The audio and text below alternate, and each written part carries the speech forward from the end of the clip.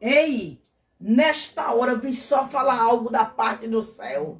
Ei, eu quero te dizer que nenhuma frecha que estão te lançando vão te matar. Ei, avisa a este língua de serpente que tem usado a língua para desgraçar a tua história, para falar da tua vida, que tem feito de tudo para destruir tua história. Mas o Senhor manda te dizer desta forma: avisa ele que Deus ele entrou na causa. Esta causa não é mais tua. Esse inimigo que tem se levantado para destruir tua história para acabar com a tua família. O Senhor manda te dizer nesta madrugada que Ele está quebrando ele está te desfazendo todo o laço, essa enfermidade que tu tens sentido, que os médicos não têm descobrido. O inimigo tem investido. Eu quero te dizer que nesta madrugada o anjo do Senhor te visita e vai quebrar toda maldição em nome de